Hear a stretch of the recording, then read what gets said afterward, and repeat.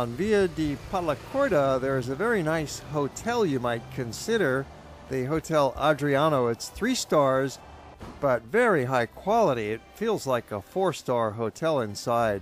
This Hotel Adriano is not part of any big chain, it's an independent, family owned and operated hotel where you really get that personal attention.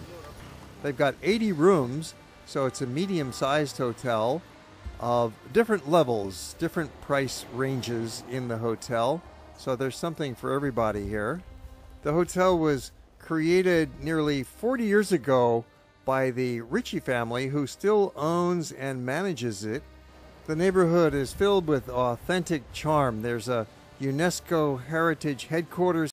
These tiny trucks are kind of amusing to the visitor, but they're very typical for Romans. They're really a motor scooter on three wheels with a flatbed truck on the back, and they can haul a lot of stuff. looks like a greenhouse on wheels. And there's a very nice shopping street.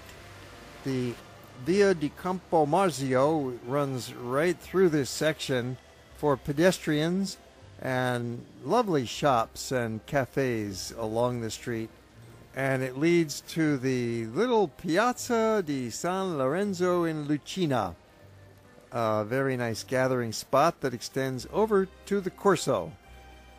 It's an authentic Roman neighborhood where you can enjoy the typical life on the streets, right in the heart of historic Rome.